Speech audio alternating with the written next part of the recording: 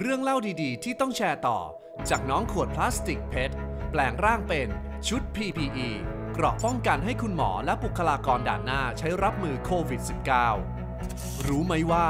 ขวดพลาสติกใส ๆ ที่เราใช้ดื่มน้ำนี้ มีชื่อเรียกเต็มว่า polyethylene terephthalate หรือเรียกสั้น ๆ ว่าเพชรขวดเพชรสังเกตง่าย ๆ ที่สัญลักษณ์รีไซเคิลหมายเลขหนึ่งกำกับที่ใต้ขวด ขวดเพชรมีลักษณะใส ขึ้นรูปได้หลากหลายขนาด จึงนำไปทำขวดได้หลากหลายชนิด ด้วยคุณสมบัติทนความเป็นกรด และสามารถกันการซึมผ่านของออกซิเจน และคาร์บอนไดออกไซด์ได้ดี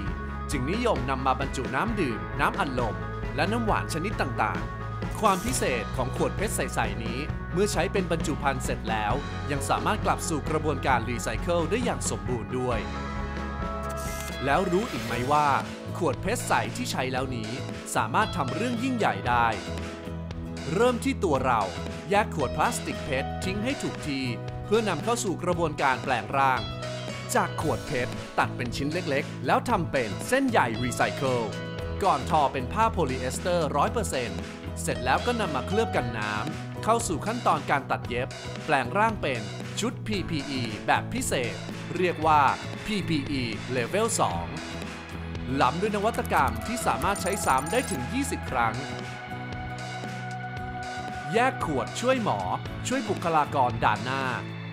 เราทุกคนช่วยได้ในไม่กี่ขั้นตอนง่ายๆ ดื่มเสร็จแล้วเทน้ำทิ้งให้หมด ทำความสะอาดขวด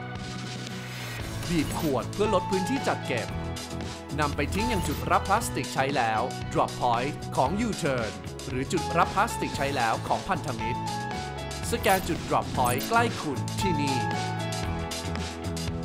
หรือส่งขวดเพชรที่ใช้แล้วทางที่อยู่ไปรษณีย์